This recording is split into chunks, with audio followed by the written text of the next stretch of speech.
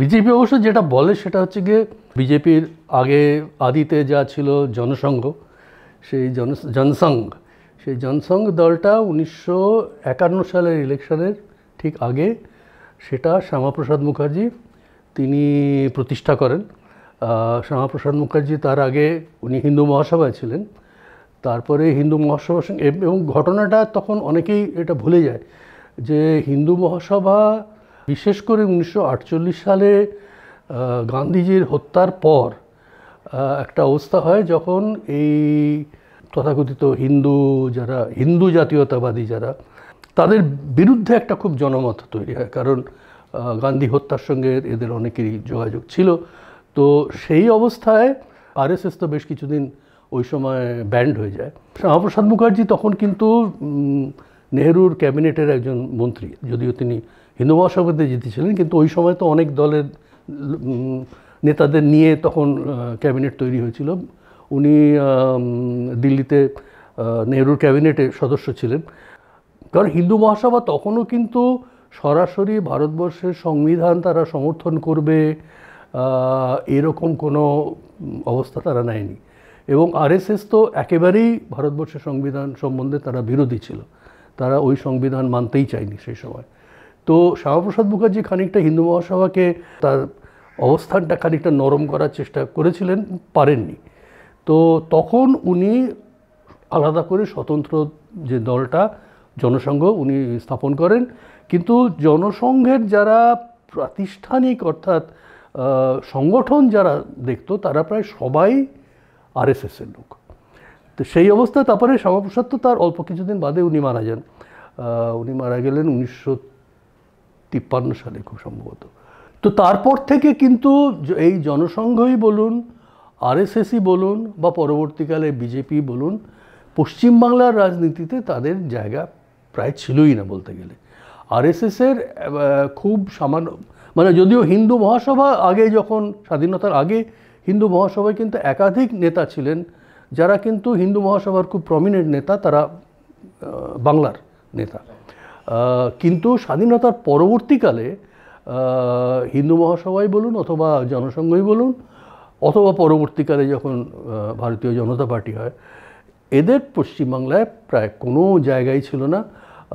খুব আরএসএসের খুব সামান্য কিছু শাখা, কয়েক কিছু কিছু জায়গায় তখন থেকে গেছিল, সেগুলো ছিল, কিন্তু তার কোনো ব্যাপক জনসমর্থন কোনো অবস্থাতেই ছিল না।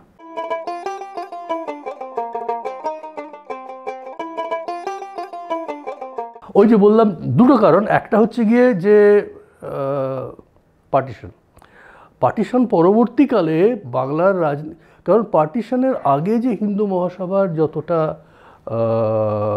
প্রভাব ছিল, তার একটা বড় কারণ হচ্ছে সেই সময়কার সাম্প্রদায়িক রাজনীতি। অর্থাৎ উনিশশো, বিশেষ করে তিরিশের শেষ দিক থেকে এই পুরো স্বাধীনতার আগে যে আট দশ বছর যেখানে বাংলার রাজনীতি বলতে গেলে প্রায় পুরোপুরি সাম্প্রদায়িক রাজনীতি হয়ে। একদিকে মুসলিম লীগের নেতৃত্বে একটা মুসলিম সংগঠন যারা পাকিস্তানের দাবি করছে, আর তার বিরোধী হিসেবে কংগ্রেসের অবস্থানটা হয়ে গেছিল তার মাঝামাঝি। কারণ কংগ্রেস ঠিক কোনো পক্ষই স্পষ্টভাবে দিতে পারছিল না। কারণ সর্বভারতীয় ক্ষেত্রে কংগ্রেসের একটা বড় সমর্থন ছিল মুসলিমদের মধ্যে, সেটা তারা ছাড়তে চায়নি। আর সেই জন্যে এই মুসলিম সাম্প্রদায়িকতার বিরুদ্ধে যে হিন্দু সাম্প্রদায়িকতা, সেটা প্রায় পুরোটাই নেতৃত্ব দিতে, দিয়েছিল সেই সময় হিন্দু মহাসভা।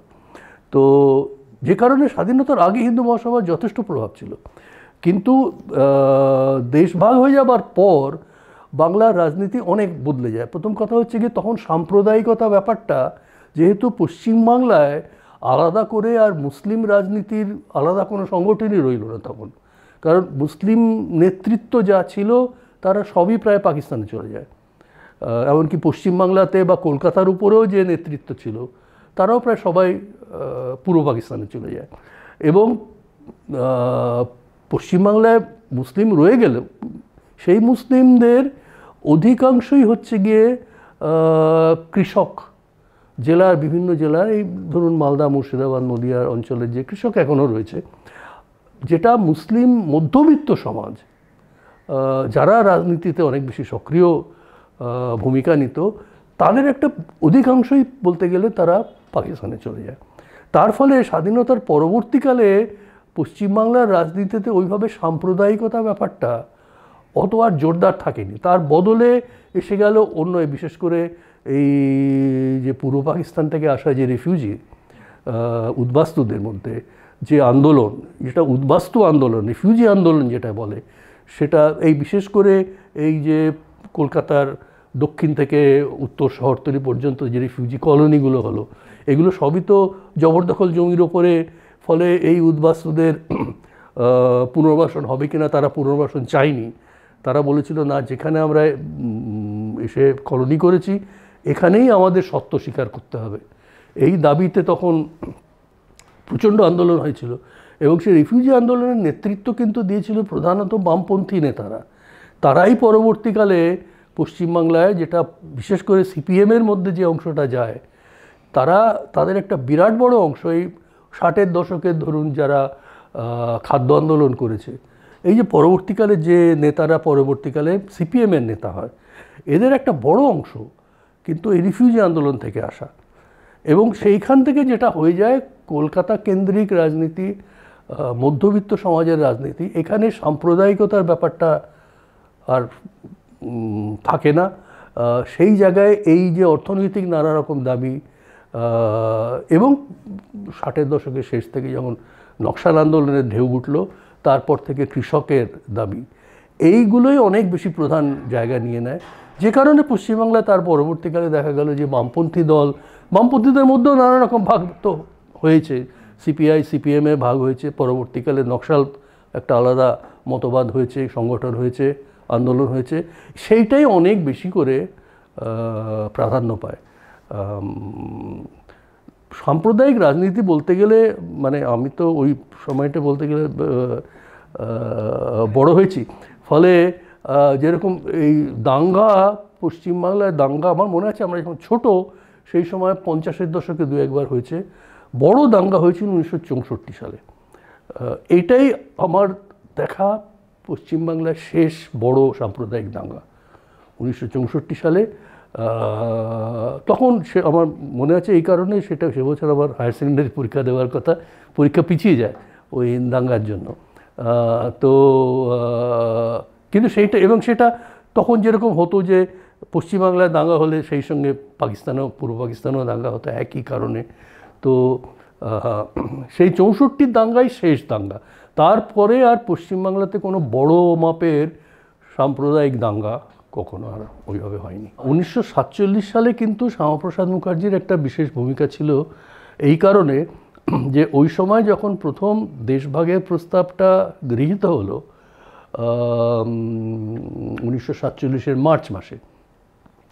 তখন তো, তখন নীতি হিসেবে স্থির হয়েছিল যে যে সমস্ত প্রদেশগুলো মুসলিম মেজরিটি সেই প্রদেশগুলো পাকিস্তানে যাবে আর বাকি যেগুলো হিন্দু মেজরিটি প্রদেশ, সেইগুলো ভারতবর্ষে। তো এই নীতি অনুযায়ী পাঞ্জাব এবং বাংলা, এই দুটো প্রদেশই পাকিস্তানে যাওয়ার কথা। কিন্তু মার্চ মাসে প্রথম পাঞ্জাবে, বিশেষ করে শিখদের পক্ষ থেকে দাবি করা হলো যে তারা পাকিস্তানে যেতে চায় না। সুতরাং পাঞ্জাব প্রদেশটাই পার্টিশন করা হোক। অর্থাৎ যে সমস্ত জেলাগুলো, জেলা অনুযায়ী, যে সমস্ত জেলাগুলোতে মুসলিম মেজরিটি সেগুলো পাকিস্তানে যাক, আর যেগুলোতে হিন্দু, শিখ মেজরিটি সেগুলো ভারতবর্ষে আসবে। একবার যখন পাঞ্জাব প্রদেশ পার্টিশনের প্রশ্নটা উঠল, তখন বাংলাতে কি হবে? এই দাবিটা তখন প্রধানত শ্যামাপ্রসাদ মুখার্জি, হিন্দু মহাসভার হয়ে উনি বললেন যে বাংলাও তাহলে বাংলা প্রদেশটাও পার্টিশন করতে হবে। অর্থাৎ বাংলার হিন্দুরা পাকিস্তানে যেতে চায় না, সুতরাং বাংলা প্রদেশটাও ভাগ করা হোক। এর সময় একটা, এইটা যাতে না হয় সেই জন্য একটা চেষ্টা করা হয়েছিল শরৎচন্দ্র বসু এবং সুরাবর্দী দুজনে মিলে তারা তখন যুক্ত বাংলা বলে একটা প্রস্তাব ইউনাইটেড বেঙ্গল বলা হয়তো প্রস্তাব ওনা করেছিলেন যে বাংলা প্রদেশ ভারতবর্ষও থাক ইন্ডিয়াতেও যাবে না, পাকিস্তানেও যাবে না, স্বতন্ত্র একটা দেশ হবে ইউনাইটেড বেঙ্গল তাই নিয়ে খানিকটা আন্দোলন হয়, কিন্তু সেটা বেশি দূর যায়নি। খানিক কিছুদিন বাদেই বিশেষ করে শ্যামাপ্রসাদ মুখার্জি যে প্রশ্নটা তুললেন যে সেরকমও যদি হয়, তারপরে কোনো একটা সময় ইউনাইটেড বেঙ্গলে যদি আবার দাবি ওঠে যে যেহেতু এখানে মুসলিম মেজরিটি আমরা পাকিস্তানে যাব, তখন তখন তো আর এই এই ব্যবস্থাটা থাকবে না, তখন কি করা হবে? সুতরাং এখনই পার্টিশন করা উচিত একবার এই দাবিটা ওঠার পরে কিন্তু শেষ অবধি এইটা নিয়ে সেই সময় যে বাংলার যে তখন অ্যাসেম্বলি ছিল, সেই অ্যাসেম্বলিতে এই নিয়ে ভোটাভুটি হয়। তাতে হিন্দু যারা মেম্বার তাতে কংগ্রেস মেম্বার শুদ্ধ একজন বা দুজনই বোধ হয় কমিউনিস্ট মেম্বার ছিলেন, তারাও শিডিউল কাস্টের অধিকাংশ শিডিউল কাস্ট মেম্বার তারা সবাই কিন্তু হিন্দু যারা, তারা বলেন যে না, বাংলাকেও পার্টিশন করতে হবে। তো সেই ওই ওই বাংলার পার্টিশন করা এই প্রস্তাবটা তাতে কিন্তু শ্যামাপ্রসাদ মুখার্জির একজন, একটা খুব গুরুত্বপূর্ণ ভূমিকা ছিল সেই সময়। যে ওনার প্রায়, গোড়ার দিকেও প্রায় ওনার একার দাবিতেই এই প্রস্তাবটা অনেক দূর অবধি যায় এবং শেষ অবধি সবাই প্রায়, অন্তত হিন্দু মতটা সবাই এটা মেনে নেয়।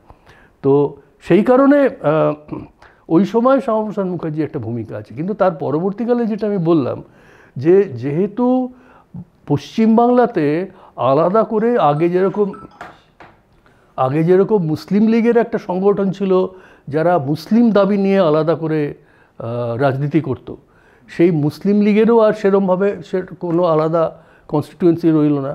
সেই জন্য স্বতন্ত্রভাবে কোনো মুসলিম সংগঠন, মুসলিম দল মুসলিম লীগ প্রায় অবশিষ্টই রইল না তো তার ফলে সাম্প্রদায়িকতার রাজনীতিটা ছিল না। এই এখন যে কথাটা উঠেছে যে শ্যামাপ্রসাদ মুখার্জি পশ্চিমবাংলার জনক, সেটা কিন্তু এই অর্থে যে উনি কিন্তু প্রথম জোরভাবে এই দাবিটা করেন যে বাংলা প্রদেশকে ভাগ করতে হবে।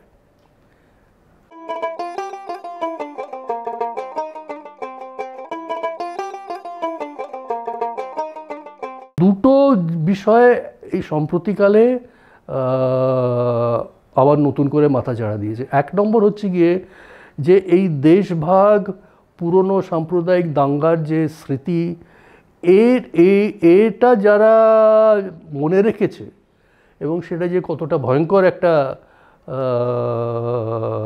ঘটনা তখন হতো, এইটা এখনকার পরবর্তী যে প্রজন্ম, তারা সেই স্মৃতিটাই নেই তাদের ফলে সাম্প্রদায়িকতা ব্যাপারটা যে কি, এটা যারা ভারতবর্ষের অন্যান্য জায়গায় যা অভিজ্ঞতা আছে, সেটা একটা অন্য জিনিস। কিন্তু পশ্চিমবাংলায় এই অভিজ্ঞতাটাই আর সেভাবে অবশিষ্ট নেই।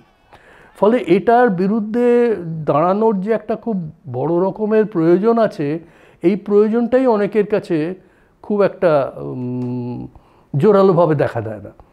এটা এক নম্বর। দ্বিতীয় যেটা হয়েছে, সেটা সম্প্রতিকালে অনেক বেশি করে এবং এখানে অনেক বেশি এই বিজেপির প্রচারটা অনেক বেশি।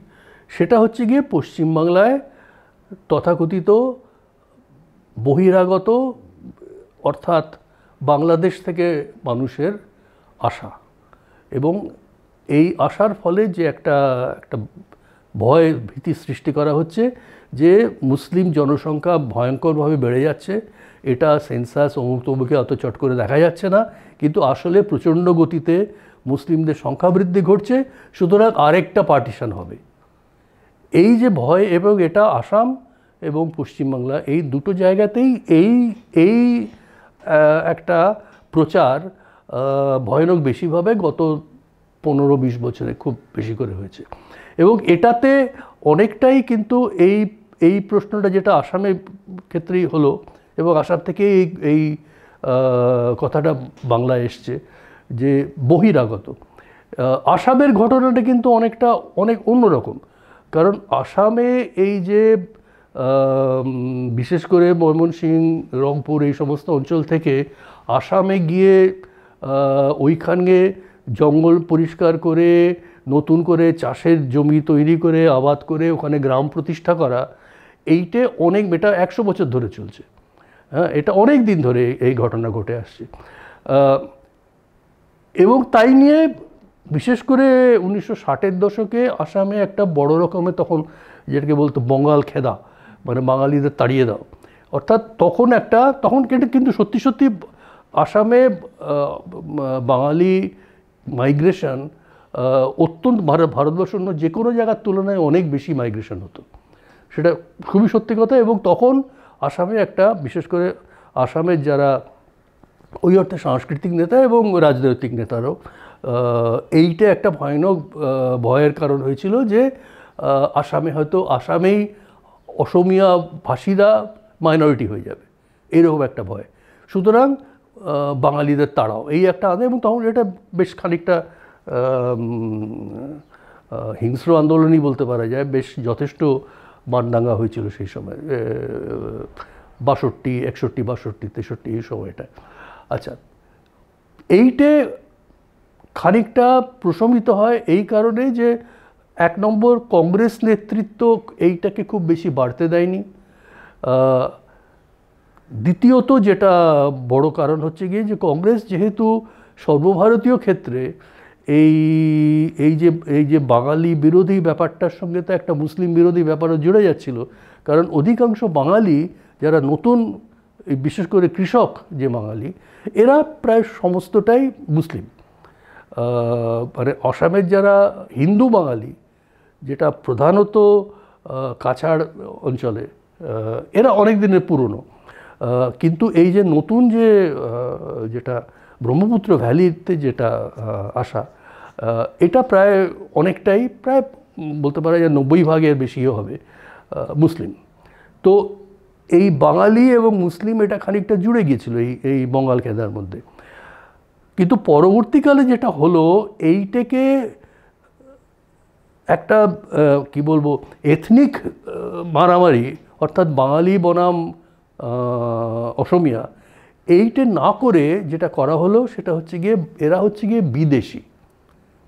হ্যাঁ অর্থাৎ আসাম একটা বর্ডার প্রদেশ বর্ডার রাজ্য এইখানে বিদেশ থেকে লোক আসছে, অতএব সারা দেশের সিকিউরিটি এখানে বিপন্ন। এই যুক্তিতে যেটা পরবর্তীকালে যে আন্দোলন, যার থেকে আসাম আসুর যে আন্দোলন student all Assam students union এবং তার পরবর্তীকালে সেটাই গিয়ে আসাম গণপরিষদ দাঁড়াল। এই সবটাই কিন্তু বহিরাগত, বিদেশি বিরোধী বিদেশি বিরোধী অর্থাৎ বিদেশি তাড়াও রাজীব গান্ধী আসার পর যে আসামের চুক্তি হয় সেই চুক্তিতে একটা রেজিস্টার অফ সিটিজেন্স করার প্রশ্নে যার থেকে এনআরসি হয়েছে। সেই এনআরসি আসামের ক্ষেত্রে করতে অনেক সময় লেগে গেল। তো এই যে প্রক্রিয়াটা শুরু হলো যে বিদেশি যারা তাদেরকে চিহ্নিত করো এবং চিহ্নিত করে তাদেরকে দেশ থেকে সরিয়ে দাও অথবা ইন্টারমেন্ট ক্যাম্পে বসিয়ে দাও, এরা এদের ভোটাধিকার থাকবে না। এই যে দাবিটা, এইটা আসাম থেকে শুরু হলো। বিশেষ করে ওই ওই যে সময়টা অযোধ্যা রাম মন্দির আন্দোলন হচ্ছিল। ওই সময়টা যে ইলেকশনের ক্যাম্পেইন হ্যাঁ?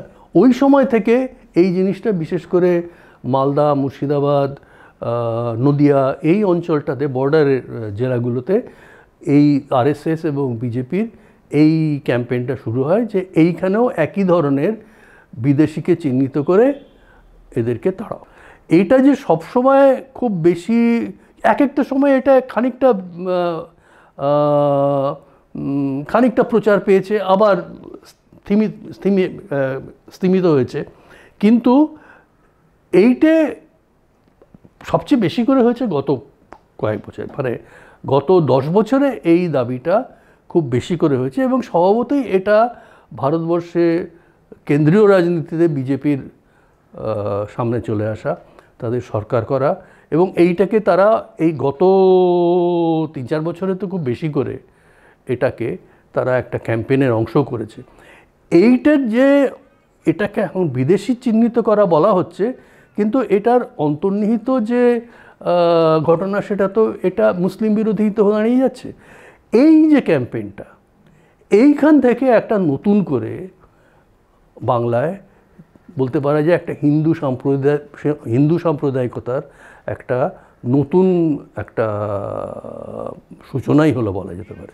কারণ মাঝে অংশটাতে অন্তত চল্লিশ পঞ্চাশ বছরে এই ঘটনা ছিল না।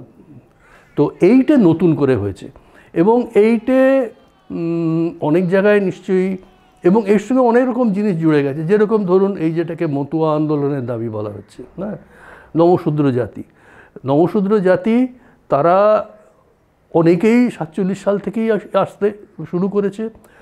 একাত্তর সালের পরে একটা বেশ বড় ধাক্কায় অনেকে এসছে এবং তার তার পরবর্তীকালে কিছু কিছু করে অনেকে নিশ্চয়ই তারপরেও এসছেন। এখন এই যে নমশূদ্র জাতি তখন যেভাবে তারা এসেছিল অন্যান্য উদ্বাস্তুদের মতোই, এখন তাদের কারোর কাছেই সেভাবে কাগজপত্র তো তখন তো ছিলই না। তখন তো তারা এসেছে তারপরে যাকে বলা হয় স্বাভাবিকভাবে ন্যাচারালাইজড হয়ে গিয়ে তারা ভারতীয় হিসেবেই তারা বাস করেছে এখানে। তাদের অন্য যে কোনো ভারতীয় যা প্রমাণপত্র তখন তো আর কিছু ছিল না। তখন রেশন কার্ড হয়েছে কারোর। পরবর্তীকালে যেরকম ভোটার কার্ড হয়েছে, আজকাল তো প্যান কার্ড, আধার কার্ড সবই আছে। হ্যাঁ কিন্তু এখন নতুন করে এই প্রশ্নটা তোলা হচ্ছে, কিন্তু আমাদের তো নাগরিকত্বের কোনো প্রমাণ নেই। নাগরিকত্ব প্রমাণটা আলাদা করে কার কি থাকে? হ্যাঁ? তো কিন্তু এই যে নাগরিকত্বের প্রমাণ আমার একটা চাই, এই দাবিটা, এটা কিন্তু একেবারেই এই দাবিটার পিছনে আছে গিয়ে আসামের এনআরসির যে যুক্তিটা হ্যাঁ? অর্থাৎ তুমি তোমার দায়িত্ব প্রমাণ করার যে তুমি এদেশের নাগরিক তুমি তোমার কি প্রমাণ আছে? এবং প্রমাণ বলতে তোমাকে হয় তোমার নিজের জন্ম কোথায়, এইভাবে তোমার প্রমাণ। তোমার নিজের জন্ম হলেও এসে যাচ্ছে না, কারণ তোমার যদি অল্প বয়স হয়, তাহলে তুমি তো জন্মেছো, কিন্তু তুমি যে জন্মেছো, তোমার বাবা মার পরিচয় কি? তারা কোথা থেকে এসেছিলেন? তারা কোথায় জন্মেছিলেন? তার প্রমাণ দাও। এখন এইভাবে যে আসামে যেটা দেখা গেল, এই প্রমাণ তো অধিকাংশ ক্ষেত্রেই করা প্রায় অসম্ভব, যে কার কি জন্মের প্রমাণ থাকে। কিন্তু এইটার ভিত্তিতে আসলে কথাটা হচ্ছে গিয়ে যে যাকে আমরা চাইব, তাকে আমরা নাগরিক বলে মেনে নেব। যাকে আমরা চাইব না, তাকে বলব, তুমি তো প্রমাণ দেখাতে পারছ না, অতএব তুমি বিদেশি, তুমি নাগরিক নও। এই যে তফাৎ করা, এই ঘটনাটা তো আসামে যে কি একটা সাংঘাতিক অবস্থা হয়েছে তা তো জানাই গেছে। এই ঘটনাই আবার বাংলায় এই এনআরসি করার মধ্যে দিয়ে অথবা এই যে নতুন যে নাগরিকত্ব আইন যেটা হলো, সে আইনের ফলে, যে আইনের ফলে পরিষ্কার বলা হচ্ছে যে এই রকম যদি কারু থাকে, যিনি যার কোনো ওইভাবে প্রমাণ নেই, তিনি যদি মুসলিম না হন, তাহলে তাকে মেনে নিতে হবে যে সে নাগরিক। এইটাই হচ্ছে গিয়ে আইনের মূল কথা। হ্যাঁ যে তার ওইভাবে তার প্রমাণ থাকার প্রয়োজন নেই, কিন্তু সে ইলিগাল মাইগ্রেন্ট নয় ইলিগাল নয়। কিন্তু সে যদি মুসলিম হন তাহলে তার, তাকে আলাদা করে প্রমাণ করতে হবে যে না, সে কীভাবে ভিসা নিয়ে এসেছিল, পাসপোর্ট নিয়ে এসেছিল, কীভাবে এসেছিল। ফলে এই তফাতটা ওইখানে করে রাখা হয়েছে। এখন এটার, এখন এইগুলোর জন্যে অনেক দূর পর্যন্ত পশ্চিমবাংলার কিছু কিছু জেলাতে, কিছু কিছু অঞ্চলে এই প্রচারটা এগিয়েছে। এবং তার পেছনে যে একটা মানে এখন আর হয়তো সেভাবে সুপ্ত সাম্প্রদায়িকতা বলাটা উচিত না। অনেক ক্ষেত্রে প্রকাশ্যেই এটা সাম্প্রদায়িক একটা প্রচার। সেটা এগিয়েছে, এটার তো কোনো সন্দেহ নেই। তবে একটা জিনিস আমি বলব যে ভোটের রাজনীতিতে শুধু এই সাম্প্রদায়িক প্রচারের জোরেই যে বিজেপির মতো একটা দল তারা সংখ্যাগরিষ্ঠতা পাবে, এটা বোধহয় তারা নিজেরাও মনে করে না। কারণ অনেক ক্ষেত্রেই দেখা যাবে যে গুরুত্বটা অনেক বেশি দেওয়া হচ্ছে যে, কেন্দ্র আর রাজ্যে একই দলের যদি সরকার হয়, তাহলে সরকারি সুযোগ সুবিধে, কেন্দ্রের সাহায্য, অমুক তমুক, এইটা অনেক সহজে পাওয়া যাবে।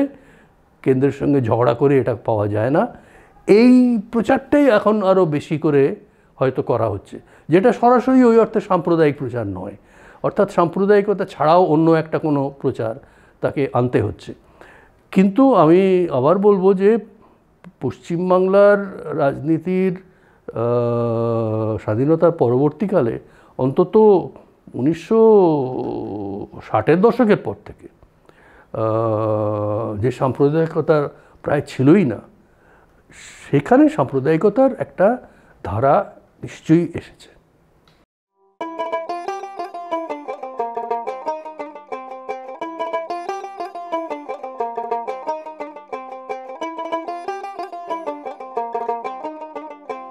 এখন দুরকম ঘটনা এখানে খানিকটা মিলেমিশে গেছে।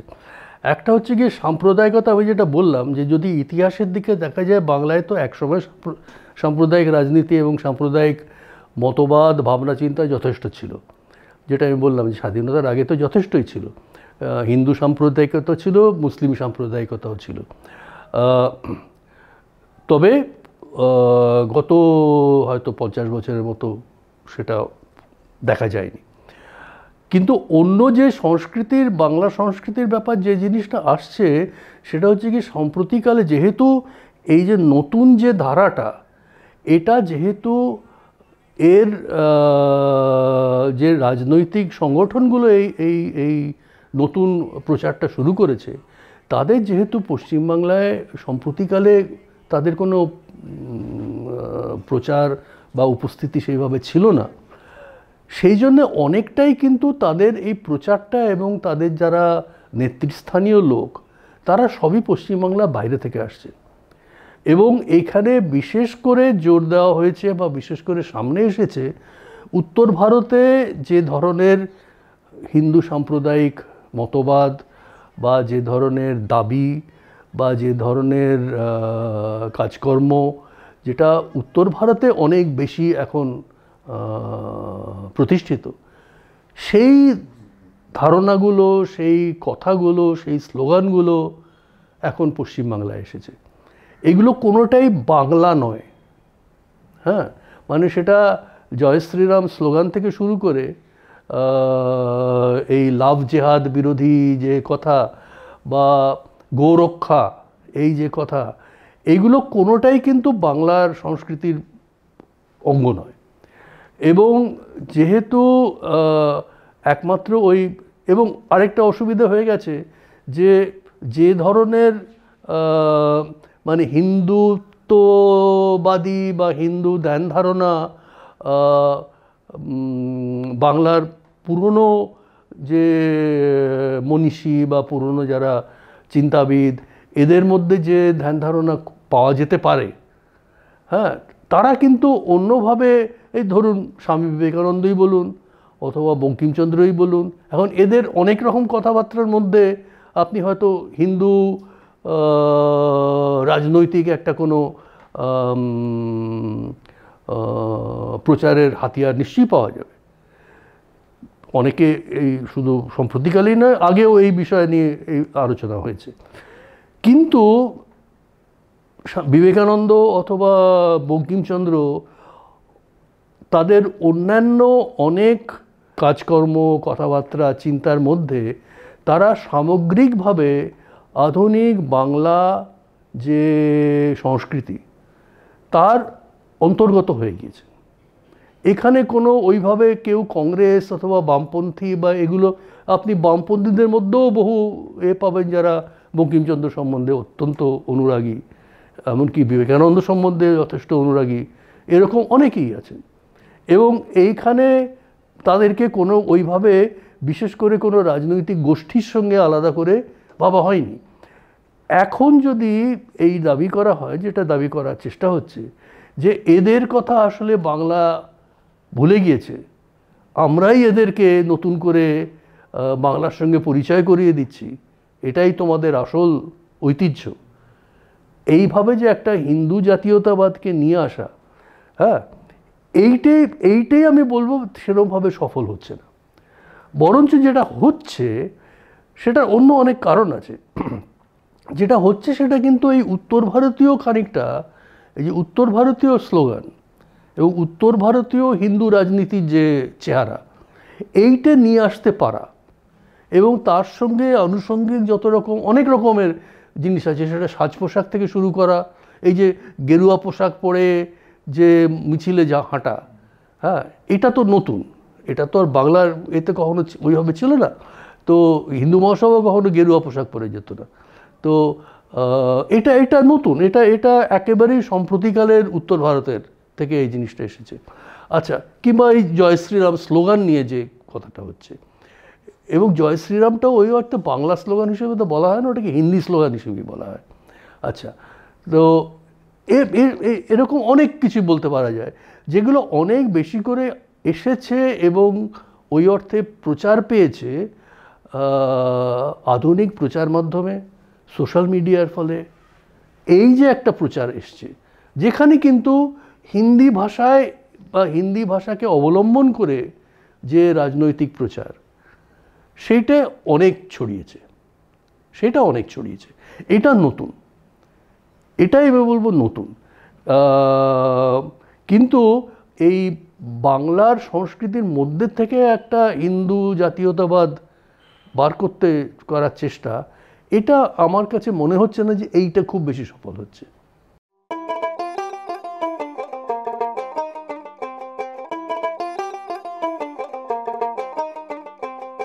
টোটাল সার্চটার মধ্যে কতগুলো, অনেকগুলো জিনিস জুড়ে গেছে।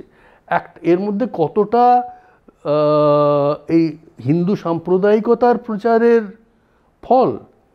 কতটা তৃণমূল সরকারের ওপর নানা কারণে লোকের অশ্রদ্ধা হয়েছে তার সেই কারণে? অর্থাৎ তৃণমূল বিরোধিতার এটা একটা প্রকাশ। সেটাও অনেকটা থাকবে।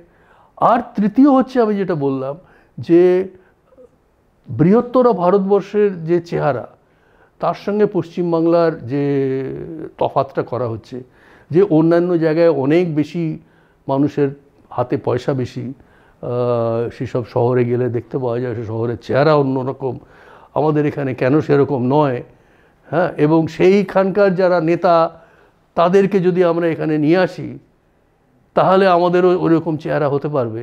এই রকম গোছের একটা ধারণা। এই সবগুলো যোগ ফলে এই যে অর্থাৎ এই যে বিজেপি যেটা সত্যি কথা বলতে গিয়ে দশ বছর আগে তো এতটা তো তারা প্রকাশ্যে দেখতেই পাওয়া যেত না। এইটা যে আজকে তারা প্রধান বিরোধী দল এই তো কোনো সন্দেহ নেই। তো এই যে জায়গাটায় পৌঁছেছে, এটা কিন্তু একাধিক কারণের যোগ, ফল হিসেবে এই জিনিসটা হয়েছে। এই সবটাই যে হিন্দু সাম্প্রদায়িকতা প্রচারের জন্য হয়েছে, এটা আমার মনে হয় না।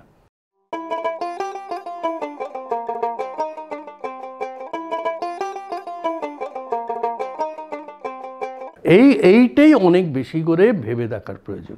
কারণ সরকারে আসা নির্বাচন জেতার জন্য কৌশল হিসেবে একাধিক প্রচারের বিষয়কে তারা হাতিয়ার করছে। এটা তো পরিষ্কার দেখা, আমি যেটা বললাম, যে এখানে সবটাই হিন্দু সাম্প্রদায়িকতা নয়। তার বাইরেও অন্য অনেকগুলো জিনিস তারা ব্যবহার করার চেষ্টা করছে।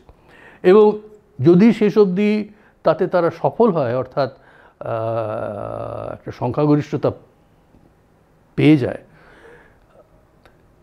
তারপরে একবার সরকার করার পর তারপরে কি হতে পারে?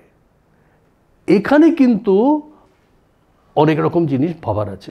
ভাবার আছে এই কারণে যে এটা মনে করার কোনো কারণ নেই যে পশ্চিমবাংলার অর্থনীতি হঠাৎ একটা নতুন সরকার এলেই রাতারাতি অর্থনীতিটা অন্যরকম হয়ে যাবে, লোকের হাতে প্রচুর পয়সা চলে আসবে বিরাট সমৃদ্ধি হবে, এটা মনে করার কোনো কারণ নেই, কারণ সেগুলো যদি হওয়ার থাকতো তাহলে অন্য কারণে অন্যভাবেই হতো। অর্থাৎ পশ্চিমবাংলায় যদি হঠাৎ করে শিল্পপতিরা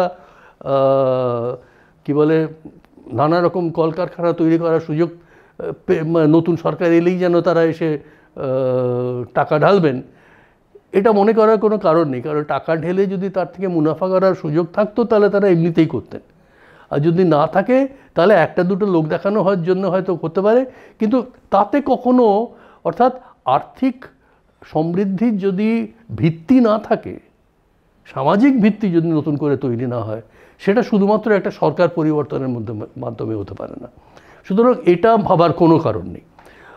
কিন্তু যেটা হতে পারে, যে পরিবর্তনটা একটা সরকার একটা সরকার গিয়ে আরেকটা সরকার নিয়ে আসতে পারে সেগুলো হচ্ছে অন্য কতগুলো সাংস্কৃতিক এবং অন্যান্য জগতে যে পরিবর্তনগুলো, যেটা অনেক বেশি করে শুধু বিজেপি নয়, এই সামগ্রিকভাবে হিন্দুত্ববাদী যে রাজনৈতিক সংগঠনগুলো আছে, তাদের যেটাকে এজেন্ডা বলা যেতে পারে, যেটা সাংস্কৃতিক এজেন্ডা এবং সেখানে নিশ্চয়ই বাংলার জায়গাটা অত্যন্ত গুরুত্বপূর্ণ তাদের কাছে। কারণ উত্তর ভারতে এবং পশ্চিম ভারতে, অর্থাৎ গুজরাট, মহারাষ্ট্র, এটা যদি ভাবা যায় এবং পুরো উত্তর ভারতে যেটা হিন্দিভাষী অঞ্চল, এইখানে তাদের যে সাংস্কৃতিক আধিপত্য এখন, সেইটা বাংলায় নেই এবং দক্ষিণ ভারতে নেই। সুতরাং এবং দক্ষিণ ভারতে চট করে ওইভাবে যাওয়ারও সম্ভাবনা কম, কারণ সেখানে রাজনৈতিকভাবে অন্য অনেকগুলো দল ইত্যাদি আছে, সেখানে এই ধরনের দক্ষিণপন্থী রাজনীতি কর্ণাটকে খানিকটা ছাড়া তামিলনাড়ু বা অন্ধ্রতে বা কেরল, কেরলে এর ওই অর্থে সুযোগই খুব কম। বাংলায়, আসাম এবং বাংলা এই দুটো জায়গায় সুযোগ এসেছে এবং আসামের তুলনায় বাংলা নিশ্চিন্ত নিশ্চিন্তভাবে যে তাদের তাদের কাছে অনেক বেশি গুরুত্বপূর্ণ। কারণ বাংলায় যদি একটা এই সাংস্কৃতিক আধিপত্য, হিন্দুত্ববাদের সাংস্কৃতিক আধিপত্য অর্থাৎ উত্তর ভারতে আজকে যেরকম ধরুন, বিশেষ করে উত্তরপ্রদেশে মতো জায়গায়, যেরকম ধরনের ওই অর্থে সরকারে এবং সরকারি মুখপাত্রদের যে ভূমিকা দেখা যাচ্ছে সেটা যদি বাংলায় আসে, তাহলে কিন্তু সাধারণভাবে ওরা যাকে হিন্দু রাষ্ট্র প্রতিষ্ঠার কথা বলে, সেক্ষেত্রে এটা একটা খুব বড় রকমের এগিয়ে যাওয়া হবে তাদের কাছে। সুতরাং এইটা নিশ্চিতভাবে একটা বলতে পারা যায় যারা মানে বাংলার সংস্কৃতি বা এই নিয়ে যে বিজেপির বিপদের কথাটা বলছে, এই দিক থেকে বিপদটা অনেক বেশি অনেক বেশি। যে সরকার একবার প্রতিষ্ঠা করতে পারলে সরকারি যত রকম ক্ষমতার ব্যবহার করে, প্রতিষ্ঠান ব্যবহার করে, এই ধরনের একটা উত্তর ভারতে যে ধরনের হিন্দুত্ববাদের সাংস্কৃতিক আধিপত্য যেটা, এইটা বাংলায় প্রতিষ্ঠা করার চেষ্টা অবধারিতভাবে হবে। সেটাই হয়তো প্রধান কাজ দাঁড়িয়ে যাবে। কারণ আর্থিক দিক দিয়ে যে ভয়ঙ্কর রকমের বৈপ্লবিক কিছু পরিবর্তন হবে, এর আশা করার কোনো মানে হয় না, কারণ তার কোনো ভিত্তি নেই সেভাবে।